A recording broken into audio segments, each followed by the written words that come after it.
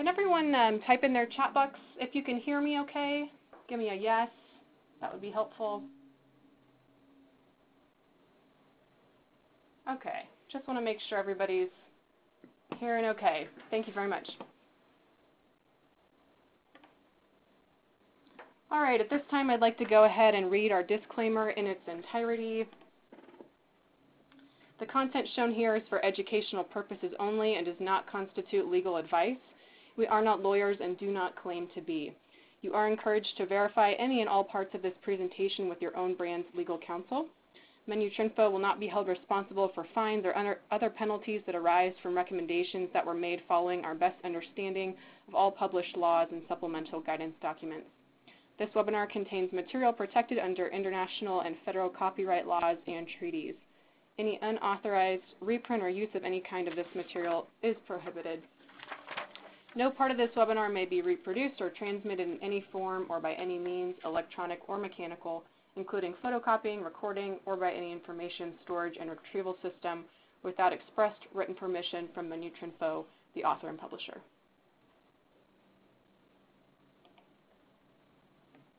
Before we dive into the content of today's webinar, I'd like to share a few words from the sponsor of these great educational webinars. AllerTrain is the leading food allergy and gluten-free training program for the food service industry. The AllerTrain suite of courses are designed to cater to various food service professionals and settings, including restaurant managers, hourly employees, chefs, university dining halls, university resident advisors, and primary and secondary school staff. Our courses teach food service professionals how to better serve diners with special dietary needs, including food allergies, food intolerances, and celiac disease. Various course delivery options are available, including e-learning, classes taught by our certified master trainers, and via live webinar. Check out our recently updated website at allertrain.com to learn more and sign up for an Allertrain class. Our featured products today are our fabulous Aller cards. As you gather tips and tricks during today's webinar for creating safe allergen-free and gluten-free meals, consider ordering these helpful resources for further support. The Aller cards identify alias names for the big eight allergens and gluten, so you know exactly what to look for and avoid when reading ingredient labels. They easily fit into a chef's coat pocket and serve as a convenient reminder when preparing allergen-free or gluten-free meals. These are sold in our online store for only $1.99 each. Get yours today. And with all the housekeeping tasks now behind us, let's go ahead and dive into the content. We have an incredible guest presenter with us today, Chef Amy Fothergill. And before I hand over the reins, let me just tell you a little bit about her. Chef Amy Fothergill studied at Cornell University's School of Hotel Administration. She never thought her culinary skills would be necessary to manage her family's special diet, but has found her cooking knowledge to come in very handy.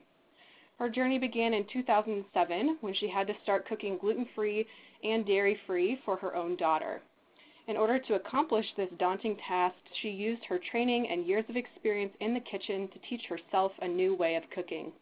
She experimented with the ingredients and techniques necessary for recreating traditional dishes into equally delicious gluten-free and dairy-free versions. Currently, she is a speaker, instructor, consultant, blogger, and writer. She's also the author of the award-winning gluten-free cookbook, The Warm Kitchen, which is about gluten-free recipes anyone can make and everyone will love. She also recently worked with Cornell Dining at Cornell University with their rollout of a 100% gluten-free dining hall. So a big welcome and thanks to Amy for being on the call today. Amy, you now have the floor. Thank you so much. I just wanted to um, say thank you to everybody for Allertrain for having me, and thanks for people um, being on the call. Um, I, in that picture, I clearly had too much coffee. I'm kind of laughing looking at it. I'm like, woo! um, but uh, thank you again, and I'm excited to help you out today. Uh, and Lori, if there are any, um, I think we're going to wait to the end for the chat. Is that how we were going to do it? I just wanted to confirm. If people have questions, we're going to just do those at the end. Yes, that's correct. Yes. Okay, great.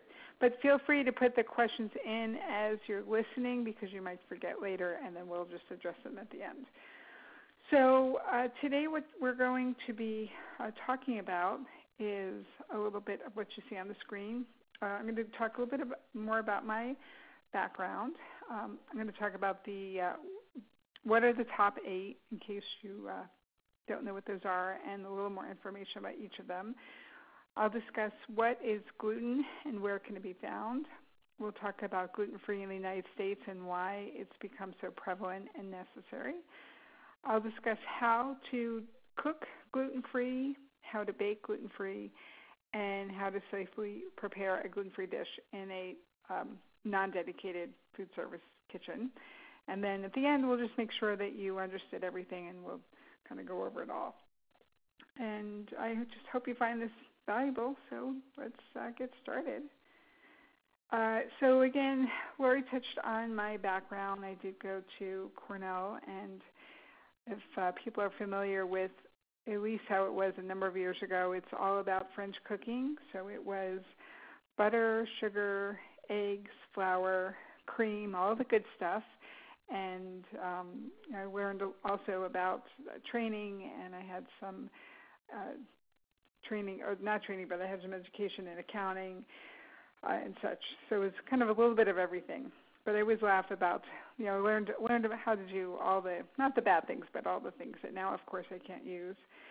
And uh, following my uh, graduation, I worked in restaurants, worked in catering, I worked in contract food service within healthcare, and then I made a transition into corporate accounting, believe it or not, uh, where during that time I we went through what was called a uh, an implementation of the accounting software, and I managed to get myself into technology, which brought me out to the West Coast, and I learned how to be a trainer, a writer, a sales consultant, and I always call it my mini MBA. So it was uh, far from food service, but at the same time, I was still using all of my, you know, customer service, uh, you know, the skills that I use, and um, organization and managerial training when I had my family, I decided to, I really wanted to go back to my passion, which was cooking.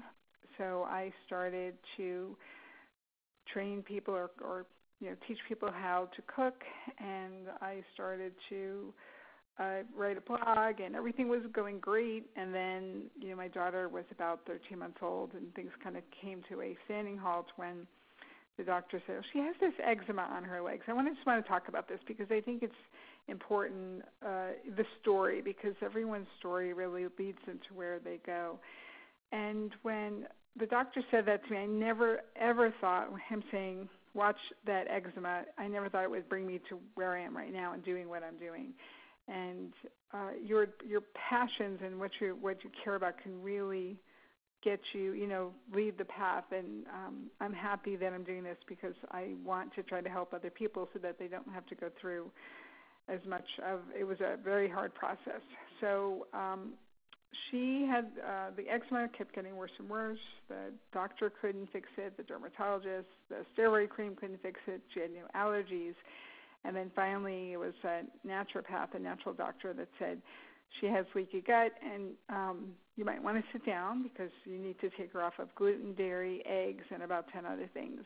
And as a mother and as a chef, I was uh, really overwhelmed, even after cooking for the number of years I had.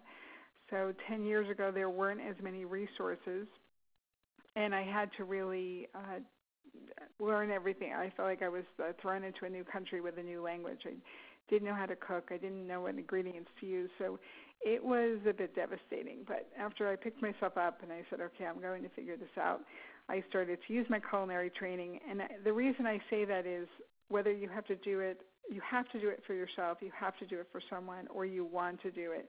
Having culinary training really helps because if you understand how food works, if you understand how food's supposed to taste, it's use that as the basis of the product that you're trying to get to and that's what I continue to do. So if I made a biscuit and it was too dry, I went back and did it again. If I made uh you know, a breaded chicken tender and it was soggy, I went back and I did it again and I just used my culinary training to try different things until I got a product that I thought was suitable to serve to whether it was my daughter or anyone. Um, so I had to learn, you know, the gluten free and to be honest, gluten free isn't so bad but when you start adding on uh, dairy free and uh, egg free, it starts to get more complicated. But uh, I did figure it out on my own, and about two years into doing that, and I was teaching classes and I was writing recipes, and the blog started to change. Uh, I decided to do something that I didn't expect. I said, "Oh, I'm just gonna I'm just going to give up gluten for two weeks because there's nothing wrong with me. I just want to see what it's like. I want to understand what it's like to be in the shoes of my customer. I want to see what you have to do when you go out to eat and when you cook at home and when you go to friends' houses. And I, I really need to understand what it's like. And that was life changing for me because within four days, I realized that I actually had a gluten intolerance, and that has led me to a much healthier lifestyle, which has just cha- again changed my direction. And I always say uh, if I, you know, if I'm mentoring someone or if I'm helping someone, you know, walking in the shoes of the customer is very, uh, it's humbling and it's uh, it's a learning experience because once you have to do it, you look at things very differently. So think about that as a potential way to to learn more yourself. Uh, and again, you, depending upon even what the allergen is. So, uh, in doing that, I kind of kept developing recipes and having a lot of success and um, becoming more well known. I live in the uh, San Francisco Bay Area, and I decided to write a cookbook. And um, in doing that, I've also become a speaker. I travel around the country, going mostly to gluten-free and allergen-free expos and talking about how to do it. I um, still teach classes and I do consulting. So that's a little bit about me. And um, again, I'm happy to be helping today. So let's talk about the top eight allergens. Um, these are the ones that people are most uh, sensitive and allergic to. And again, I'll talk more about the difference between that. But you, um, the things that I'm sorry, the things that uh, that are listed are milk, dairy, eggs, peanuts, tree nuts, and there is a difference between peanuts and tree nuts. So peanuts are really legume Tree nuts are things like cashews, walnuts, almonds, etc. Um, fish and shellfish. So fish being like salmon, tuna, cod, things like that, and shellfish. Think of something if it has an outside shell, like a shrimp, lobster, clams, etc. Uh, soy is a top allergen, and wheat, uh, gluten. And the reason I, it's listed as wheat is the eight allergens are what the FDA really looks at, and that is you'll see something that says it contains wheat, but currently you do not see anything that says it concerns gluten. And I'm going to talk about why there's a difference between the two. And in other countries, they actually do distinguish between uh, anything that has gluten. So there's barley and, and different things like that. Um, another common allergen that's not listed is sesame, so it's just one to be aware of. And I thought of another one. Corn is becoming another common allergen. Uh, things to think about with, um, I'm going to look at that very first one with milk. Um, I, I think back in when, you know, probably when I was studying, when we thought of dairy and many, you know, I, I would just ask this kind of generically. When you think of dairy, you might think of milk and eggs. And really, there's a difference because where does milk come from? Milk comes from a cow, and where do eggs come from? Eggs come from chickens. Generally, we're just going to talk generic. And we say dairy, but most people, what they're reacting to, it's the casein, and the casein is the milk protein. So a lactose-free milk is still going to have casein. Um, sheep's milk, goat's milk, etc., will all have the casein. It's the milk, it's the animal milk protein.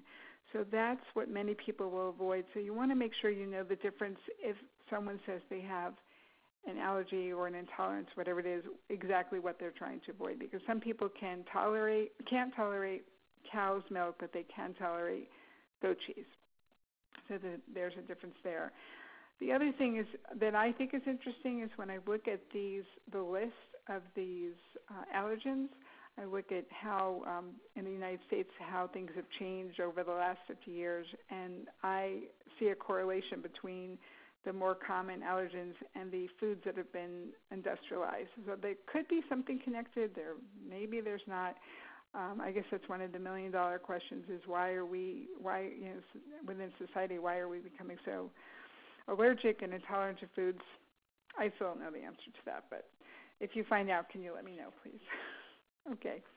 All right, so let's now talk about common places that we would find these top eight allergens. So again, within milk or dairy, if we just kind of use it generic, you're going to find that in cheese, uh, cream, even. So here's another interesting one: is ghee, and ghee is a clarified butter. There are some people who have an intolerance to milk who can tolerate ghee, and some people who can't. So I would say stay away from that if you're thinking of it as an allergy. Whey is a form of uh, dairy. Caramel obviously is dairy, and a lot of mixes. And whether we talk about gluten-free um, things that are you know ready to go will contain milk that you wouldn't expect. So I would say you know you really want to look at labels and understand what's in things. As far as eggs, uh, I've had arguments with people about this because they say, "Oh, um, you're dairy free, but I can give you mayonnaise," and they say, "No, mayonnaise is dairy," and, and I say, "No, well." Mayonnaise is usually made from eggs and oil and maybe vinegar and salt. So eggs or mayonnaise should be dairy it should be dairy free in the sense it shouldn't have any uh, cow anything from a cow in there. So just uh, to differentiate. Um, so you find obviously eggs and mayonnaise, but there are vegan mayos that are available. There are some companies that make vegan mayonnaise. Meringue powder, because it's made from the egg white. It's in a lot of bread, especially gluten-free bread, marshmallows, even in egg substitutes. Sometimes what they're using, or they'll say, "Oh, it's the egg white and it's not the whole yolk." So it's always important to understand what the food is. Peanuts are obviously going to be in uh, sauces and peanut sauces, peanut oil and peanut oil could be in the fryer or it could be an ingredient and in many baked goods. Um, again, tree nuts being anything uh, separate from the peanuts. Marzipan is made from almonds. Pesto usually has either pine nuts or walnuts. Obviously, nut oils, walnut oil, um, things of that nature, almond oil, and many other products. So be on the lookout because I feel like these um, well, and really fish and shellfish. Some of these are the really more serious allergens that you want to be super careful about. For fish, you're going to find that in um, obviously anchovies, so anything that has an anchovy sauce or anchovies are part of the product. Uh, Worcestershire sauce has fish in it. Imitation crab is made from from fish, and uh, barbecue sauce can even have fish. Um, shellfish again can also be an imitation crab and in fish sauce. So be aware of that. If people are avoiding soy, you'll find uh, soy very often in dairy-free items.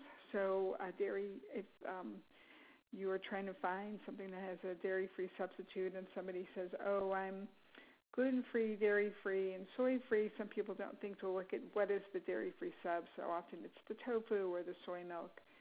Uh, it might be in vegetarian or vegan items. It's obviously in soybean oil. It's in a lot of sauce, sauces and bases. It's part of usually part of miso. Some miso is made from brown rice, and even tamari. Tamari is um, still soy, and sometimes people will talk about a product called Bragg's, which is a liquid amino, and that's made from soy as well. Um, I like to say with wheat and gluten, how much time do you have? I guess we technically have about 45 minutes, but um, there's a lot, and I'm going to go into much more detail. And the reason is uh, that I'm going to talk more about the gluten is the process that I'm going to go through to talk about how to keep gluten out of your kitchen is very similar to the other allergens. So with that, see if there's anything else.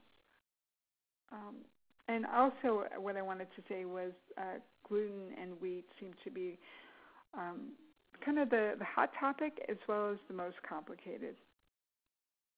So let's talk about what gluten is. So gluten is the protein that's found in wheat, rye, and barley, and those are three grains. It's actually made up of two proteins, the glutenin and gliadin, and that forms the gluten. Um, and that's important because any of the products, anything that contains wheat, rye, or barley is going to have gluten. I want to talk a little bit about oats because some people assume oats are gluten free and they're not always. And the reason is there could be uh, contamination of gluten just from being grown next. If oats are grown next to a wheat field, the oats could get contaminated with gluten. If oats are processed in the factory, with wheat or barley or rye, they can be contaminated. And then there's a percentage of the population who, even though they are given a certified gluten-free oat, it's so similar in its protein to the to those grains that have gluten. People still react, so they'll say, "I can't have oats either." So just be aware that it's uh, one of those that if you can avoid if you're trying to do something gluten-free, you do find there might be a percentage of people who can't have it, unless of course you're making oatmeal. But uh, be aware of that. And um, if you're going to use any oats for gluten-free cooking, make sure that they're certified. That's really really important. And let's talk about then what does gluten-free mean or GF. So you're going to see GF a lot of the time. And it basically means using products that don't have any of these or any part part of these grains and understand that because it's part of the food, the gluten cannot be removed. So I get that question a lot of times. People say, What makes it gluten free? And really, gluten free means you're using other products, other grains other than wheat, rye, and barley, and maybe oats, or foods that haven't touched any of these foods. Okay, this is one. This is the list, and believe me, the list is longer than this. I uh, just did a um, kind of skimming the surface, but gluten is in all products that are made from flour, from white flour, wheat flour, pasta, crackers, bread, cookies. That's that's almost the easy ones. It's in mixes like cornbread, so sometimes people will think that cornbread is gluten free because it's made from cornmeal, but usually it also always has flour in it. That's why you have to look at the label. Most uh, a lot of people don't know that soy sauce is fermented with wheat. It's about it's usually the third ingredient in soy sauce. So this is where if you use a tamari, the tamari is not fermented with wheat, or look for something that says gluten-free tamari. It's also known as gluten-free soy sauce.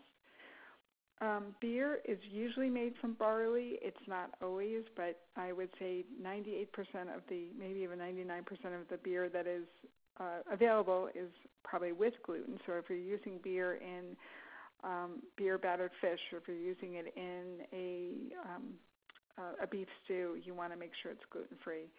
And you might have heard of a beer called, or I don't, I don't want to name names, but there are beers that are called gluten because there's not just one of them. They say they are not allowed to be called gluten free. They're said gluten removed, and those gluten removed beers are really not safe for celiac. There are some people that'll drink it, but just uh, that is what the the general um, consensus is amongst the community. Again, with the oats, unless it's certified gluten free, assuming that it's not safe.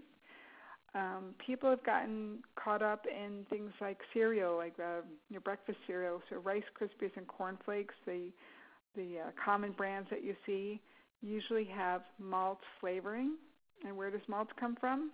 Malt comes from barley. So anything if you see malt is going to have um, is going to uh, not be gluten free. So I usually do it the other way around. I'll say I'll find a rice cereal or a corn flake cereal that says it's gluten free, and that makes it easier for me. Um, I've had this happen in restaurants uh, two times that I can think of off the top of my head, where someone has sworn to me up and down that it was gluten free, and I said, "But the what about the imitation crab?" And they look at me with their head to the side. What do you mean? If you look at the ingredients of most of the imitation crab. There's one company now that makes a gluten-free imitation crab. The third ingredient is usually wheat starch, so then it's not gluten-free. So that's usually used for California rolls would be a good example. And we talked about malt flavoring, so malt vinegar or anything with the um, anything malt anything. Um, you know, it's in sometimes sweets. It's in malted milk. Um, malt vinegar is used a lot of times for seasoning. There's other vinegars you can use. You find uh, you can find gluten in sauces and gravies, bases, even manufactured broth. It hides in very strange places. So um, I've it's just over the last 10 years I've been amazed at places I've found gluten. So don't assume just because oh it's just chicken broth, oh it's just a plain sauce, it won't have it. It might. Um, and that, again, another one for personal experience I found are frozen French fries or even or sweet potato fries sometimes we'll have a coating, and that might be a, a wheat-based coating.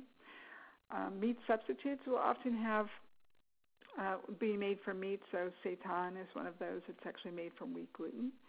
And I'll ask this question, sort of uh, put it out there, and you, we can talk about it later. Have you found it? Have you found gluten anywhere else that you didn't expect? I find I found it. I found it in veggie sticks. I found it in. Um, I went to a restaurant uh, once, and it was in risotto. And I thought they put they added it in to make it thicker, and I was very surprised by that. So I'm just curious if you have any other um, people have any anecdotes, please share them. Okay, and there's still more. We thought we were done, but now there's still more. Uh, you can find gluten in cornmeal, believe it or not, if it's processed on shared equipment or in the same facility. Uh, bulk food, so this is if you were going to the grocery store and you just needed to grab some walnuts or grab maybe some sugar. Most of the bulk food companies will have a disclaimer saying that there can be wheat because it's in that shared environment and it could fall from one bin to the other. So the recommendation is to not use bulk food if you want to uh, cook gluten free. It can also be found in spices or spice mixes, which is I think surprises people.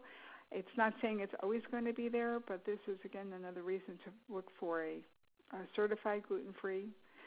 Um, natural flavoring, flavorings, caramel color, and more. It's the list is pretty long. The allergen cards, I think I was looking at them earlier are uh, very good because they do have listed many, many of the items for gluten and for those other allergens that you might find.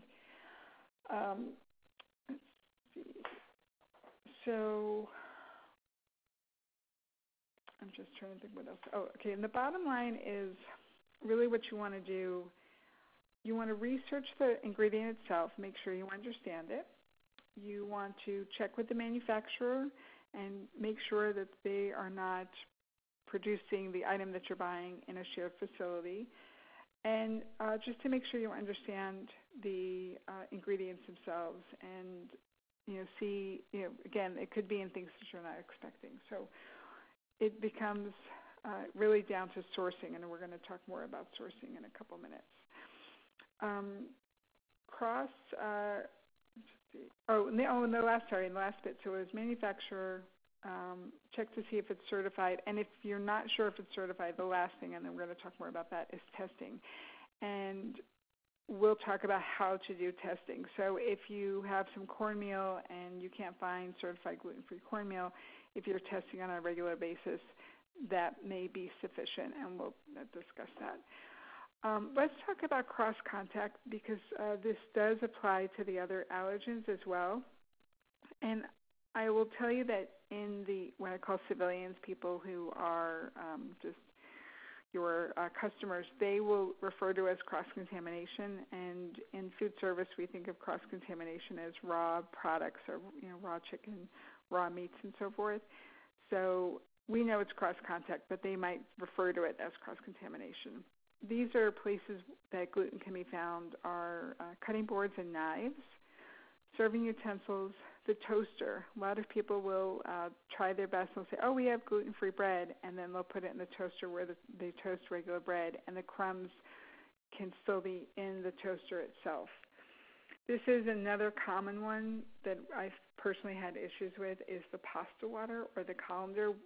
Uh, the the same water is used for the gluten pasta and the gluten-free pasta. That really doesn't work. And the colander, it may not be clean. It might be picking up um, gluten within the whole, you know, the, the colander strainer itself. Uh, another one that I see a lot of times is the fryer, and I'll ask if the fryer is dedicated. Um, if you are frying anything that has gluten, uh, chicken tender, an onion ring, uh, anything in the oil, that oil is not gluten free. And if uh, I had, you know, it was a couple of years ago, I ordered.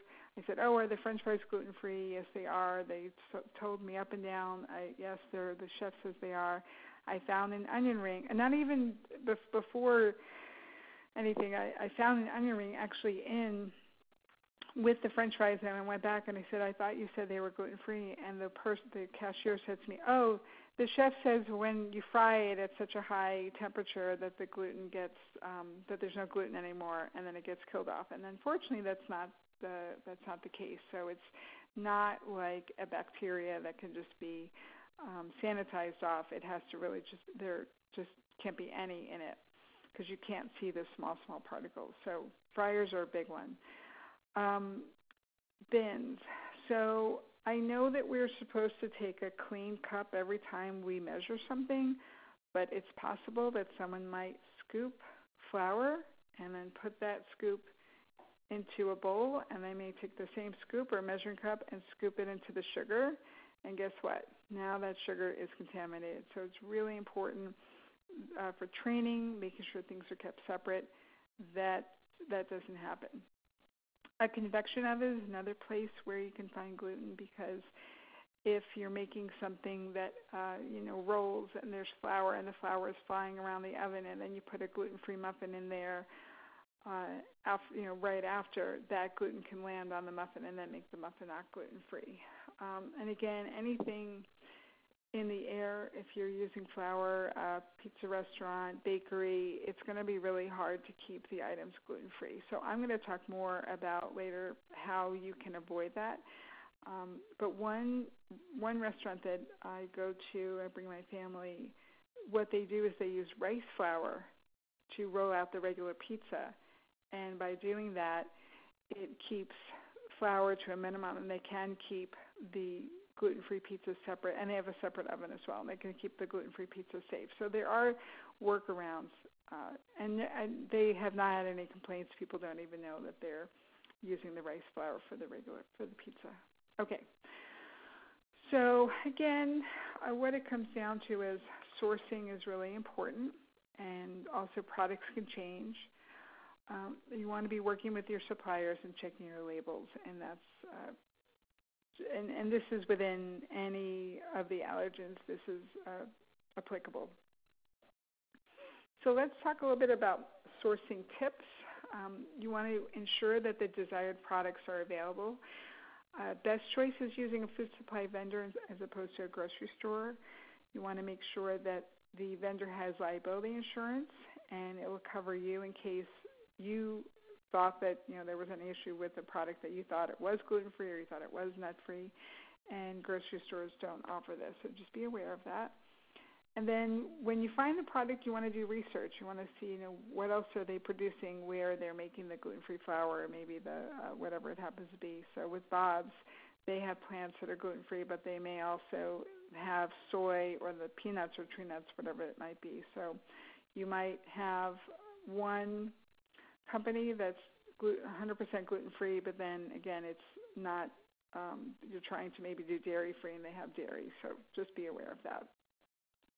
And one thing is that once you find a product that you might want to use, you want to make sure to get a sample to ensure that it reacts the way you expect it. And this happens more with, say, a dairy free or gluten free um, as opposed to, I would think, nut free.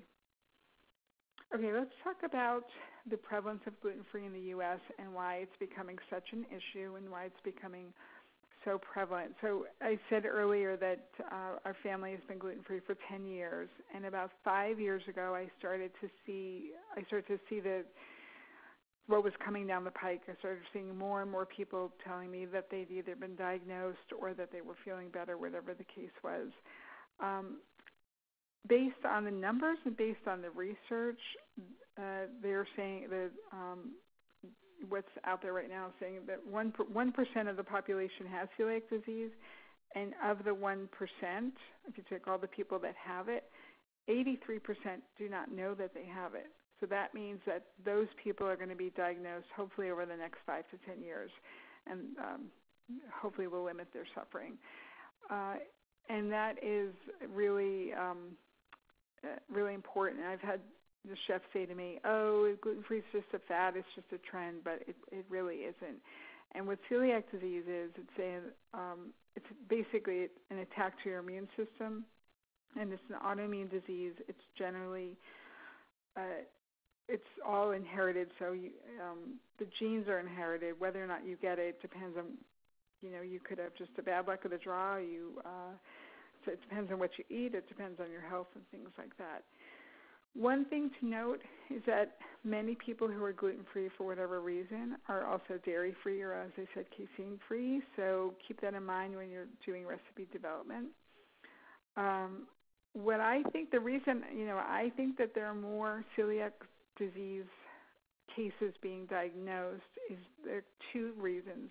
One is the doctors are becoming more educated. So, uh, about if you ask a doctor and ask them what did they know about celiac disease 10 or 15 years ago, they knew that oh, if somebody came in with certain um, symptoms, uh, diarrhea, very small, skinny, abdominal pain, they might have tied it to celiac disease. They may or may or may not have.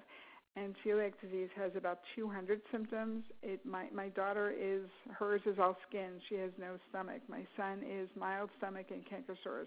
It can change. It can vary in people. So a lot of people don't even know that it's an issue. So you get the doctors learning more, and they're starting to diagnose. And then part of what sets off celiac disease is if you have a compromised immune system, your body might it might set off. And if you know the between the American diet and the food supply isn't as clean as it was when maybe our grandparents were alive or great grandparents, that can all lead to more cases of celiac disease. So um, I would suggest Googling what is celiac disease to understand it better. And uh, I have some resources at the end so you'll know what that is. Um, functional medicine has identified gluten as a health risk, so that means that you know you'll see people who are just gluten free because they um, think it's better for them. Uh, I think it's funny that you know people say I'm gluten free, but you don't hear people coming in saying I think I'm going to be peanut free. I'm going to be almond free. So there are some people who do it and maybe don't know all the uh, you know the reasons why, but and they may or may not feel better and some people just think it's healthier and when i say it's not necessarily true what that means is if you eat a gluten free diet and you're eating gluten free donuts and gluten free bread it's not probably going to change your health but if you eat a gluten free diet and you start eating more vegetables and lean meats and healthy fats it could potentially change how you feel and then you have people who are paleo and paleo is really just um, meats it's uh, meats, vegetables, fruit, nuts, seeds, healthy fats. It's no grains, no sugar, no soy, things like that.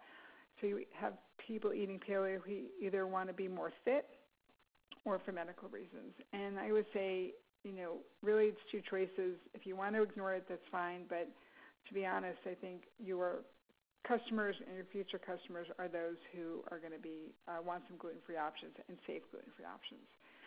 So to make a dish truly gluten free, think of gluten or really any allergen as raw chicken, and that's the best way to go about it.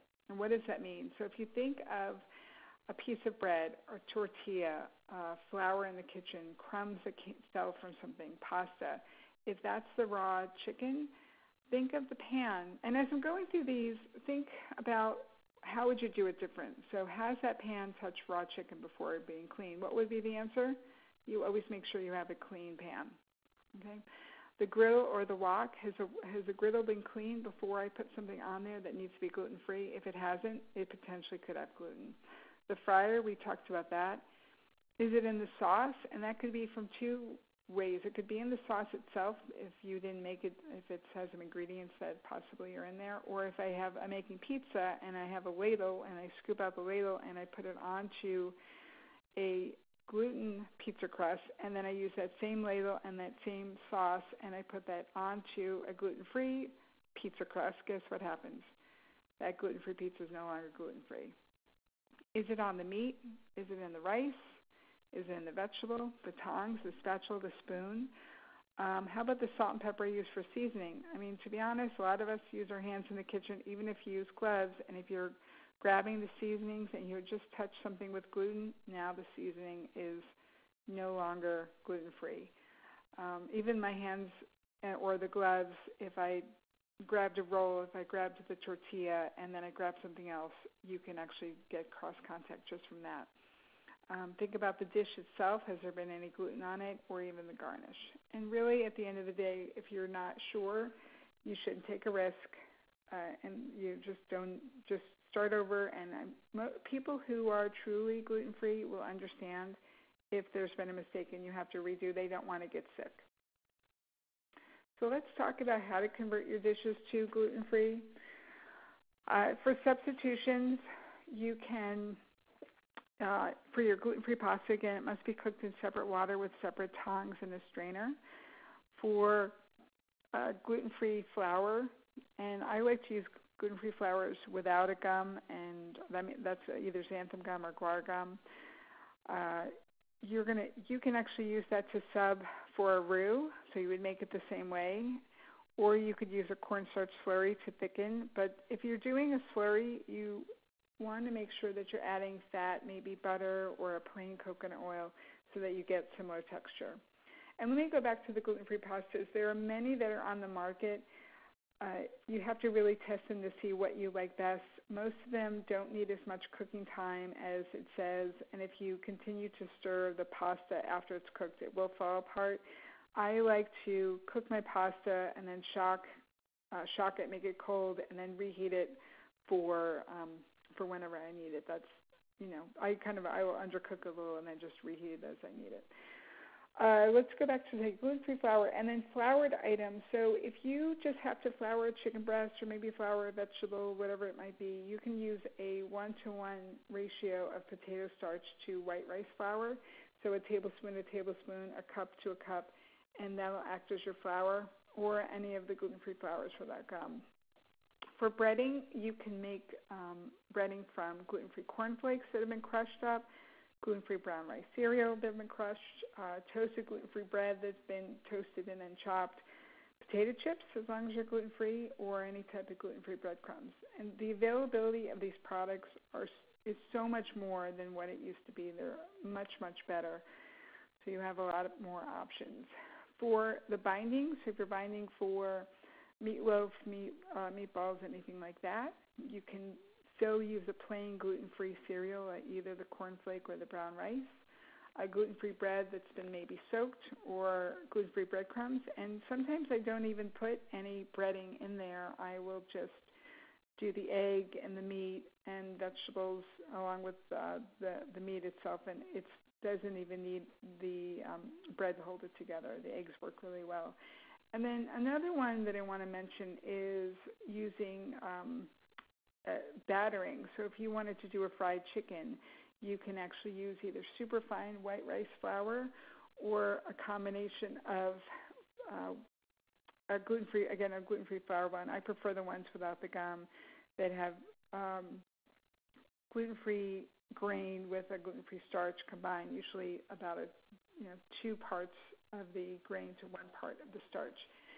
I've been finding more and more restaurants that are doing 100% gluten-free fried foods. I was just in Atlanta, and it was there's a, a small chain of restaurants, and they make gluten-free chicken, uh, fried chicken, fried okra, fried um, jalapenos, and they just use the same batter for everything. So if someone is uh, gluten free, they're head over heels. They're so excited. And for those who are not gluten free, it's very hard to tell the difference. So sometimes you can just switch something over, and your customers, you know, may or may not notice. Uh, thinking of other items like lasagna, you can also think outside the box a little bit. You can make a lasagna from polenta slices, and again, you want to make sure that that polenta is uh, gluten free. You could do it from sliced vegetables like zucchini or eggplant, or you can use gluten-free noodles. Um, most of the gluten-free noodles I've seen will say that they don't need to be boiled, but realize that the sauce itself that you're using must be thin because if you're going to take a hard noodle and you're expecting it to be soft when it's done baking, you need to have some moisture in there and make sure it's covered, of course. If you uh, have a recipe that has soy sauce or you use soy sauce, you can use tamari. And again, I've seen restaurants that just do 100%, just do the substitution. That way, uh, everything is always gluten free, save for any of the marinades, um, maybe appetizers. And then if somebody needs soy free, there's a product called Coconut Aminos, and that's a good soy free substitute. Um, here's a real easy one if you are trying to figure out how to make something gluten free, foods that don't have gluten are unmarinated meats, fish, and seafood, vegetables, raw potatoes, fruits, and plain vegetable oils. And what that means is if you're trying to come up with a menu item that's gluten free, and maybe some of this is intimidating with all looking at all these ingredients, just give people real food, real you know unprocessed food, and that would be gluten free as long as you haven't you know the cross contact and such. We don't have issues there. Um, foods that could have gluten is anything that's processed. Again the spices, the sauces, the marinades, and the grains themselves. So be aware of that. So for baking, you can use a gluten-free flour mix with gum. Uh, you want to use the gum; it helps hold it together. Uh, on my website, which was at the beginning of the presentation, and I think I'll have it at the end, I have a recipe for one that I like to use, or you can use commercial ones. You want to look for recipes that are solid, meaning that have been tested, uh, that um, other people may have used, and you want to test those in your kitchen. And not every recipe can be converted one to one with gluten free. So things like pizza and breads, you can't just take a gluten free flour and change it over. But easy things like pancakes, waffles, muffins, quick breads, those a lot of the cookies, those actually you can just use the flour and just uh, substitute it one to one. But if you're making any of these items, what's important for the cross contact is to make sure that it's a dedicated pan, dedicated waffle maker, or crepe pan, whatever the case may be. Um, breads can be made gluten-free, a good gluten-free bread can be made with the right recipe. It can be mixed in a bowl with a spatula, and you can just let it rise in the pan. It's not as hard as it seems. It's just different ingredients and a different feel of the batter, and the dough feels much more sticky. So once you get used to that, it's actually um, very doable in the kitchen. You want to make sure you're always using proper baking techniques and measuring that you're shortening your butter is cold if you're making a pie crust, that you uh, when you measure flour, you're either weighing it or you're making sure that it's flat and not packed down. You want to use parchment paper for anything baked because it's so sticky so it doesn't stick to your pan. And what I found works really well is using what's called the touch test for doneness. So instead of sticking a toothpick, if you press on it, it should bounce back when it's finished baking. So serving gluten-free food that's safe and food service you want to think about the requirements, um, the labels of the food, make sure your processes are documented, uh, training to the staff, and make sure the food itself is labeled within the kitchen. You always want to start with clean cutting boards, knives, bowls. Um, dedicated is preferred. It's going to make your customers feel a lot better, uh, whether they're labeled, whether it's colored, whatever the case may be. The area where the prep is done should be washed with new towels before starting. So again, think of it as if was there raw chicken there? Could there have been raw chicken there? Get out the you know brand new towel, get everything sanitized, everything wiped down, and then start prepping. Uh, again, if it's separate, a separate area is always better. Make sure the ingredients have been stored safely. So you don't want to store the flour over the sugar that sugar, you know, regular flour over the sugar you're going to use. Um, make sure you start with new gloves. Um, if uh, you're prepping your gluten-free ingredients, make sure they're covered, top shelf if you can in the in the walk-ins, uh, covered, labeled, and proper storage. And think about where it's going to be cooked. Separate pan, separate oven is always best. So this is part of the process of if you're ready to do gluten-free food in your kitchen, you get to, you have to think about it from the time it comes in the kitchen all the way to the time it gets to the customer. When the item is ordered, what's going to happen? What does the front of house have to communicate to the back of the house? Will this item always be gluten free because of how it's made so that you don't have to do that? That might be an easy way to do it. Maybe it's always the, uh, you know, again, the teriyaki marinade now is always made with the gluten free soy sauce. Uh, it's always, you know, the grill always has gluten free items. And if it's made gluten free, and if say if it's the pasta, the, the dessert, or the fried food, consider a label or a flag or something to indicate that you made sure it was gluten free. So some restaurants will do that. They'll have little stickers so that they know someone in the kitchen took special care for that.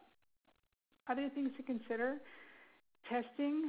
So there's different testers you can get. There's the Gluten Tox Pro Swab test, or there's what's called a Nima sensor, and that tests. Um, currently, it's testing for gluten, and it will show if there's 20 parts per million or more, and 20 parts per million is um, like a crumb of a crumb. It's a really, really small amount. And uh, the Nima devices also will be also able to detect if there's peanuts. They're going to come out with peanuts and milk and other allergens later. You want to make sure training, top down. Everyone knows what to do. Um, have your policies and procedures documented. Some companies will just say we want one person to execute the dish, whether it's the chef, it's a manager. Those are some things that have worked. Uh, communication on the menu in front of house is really important. Uh, making sure that you know if it truly is gluten free, you know, describing what it is and such. Um, and I think this is important. You want to just make sure that you're honest with what you can, you can't do. If you can't deliver and make something gluten free, then you need to tell your customers that. Uh, you know, a pizza restaurant or a bakery where flour is flying around, you may not be able to ever make something that's gluten free. Can you bring something in from another company that's gluten free and reheat it, cover it? Yes, that's an option. Can you do it first thing in the morning? It may or may not work, so that's where you have to do testing. So maybe putting a disclaimer in there so that people are aware and then let them make their decisions.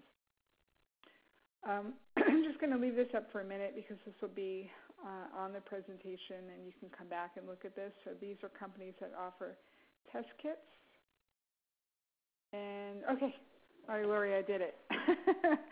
so the things we talked about is uh, hopefully after seeing all this, you should be able to explain what gluten is and know in which of the major foods it can be found.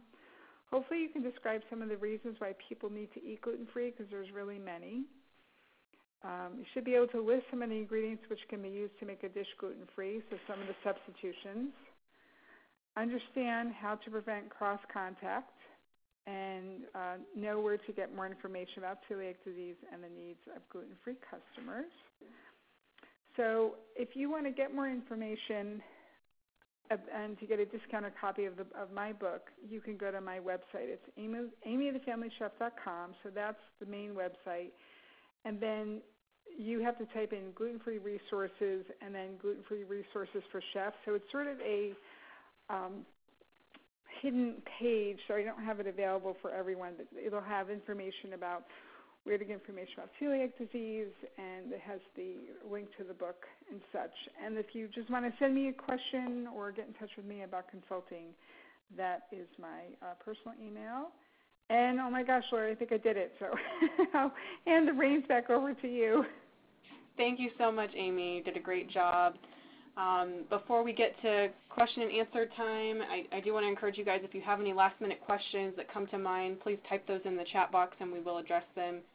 Um, before we do, we want to just share our next webinar topic with you. Coming your way June 27th is another important webinar entitled Be, Supplier Savvy. Join us to learn how the right distributor can make or break your menu labeling efforts. Topics will um, include nutritional differences in products, allergen differences, cross-contact in manufacturing, and menu labeling certifications. This webinar will be led by our Director of Education, Ms. Claire Willis, so we hope you'll join us for that. And like every webinar in our 2017 educational series, this webinar is approved for one continuing education unit that's at level two through the Academy of Nutrition and Dietetics. A registration link to next month's webinar will be found in the email you receive after today's call, along with a survey that we would kindly ask you to fill out. Your feedback is always valuable to us. And for those of you on the call who are interested in receiving those continuing education credits from the Academy of Nutrition and Dietetics, the post-meeting email will also contain a completed proof of attendance that you can simply download and submit to the Academy to redeem those hours. And finally, we want to let you know about how to become a master trainer and a special discount we have going on right now. Thanks, Lori. This is Leslie from the Allertrain team. Just letting you all know that we are offering a spring discount on our upcoming Master Trainer webinar. Um, that'll be 10% off of the tuition price. So if you've been thinking about and wanting to be the food allergy trainer for your brand or university, now is a great time to become a master trainer. Um, just visit allertrain.com to register under the Master Trainer tab. And as always, if you have questions, email us at aller at menutrinfo.com or call 888-767-6368.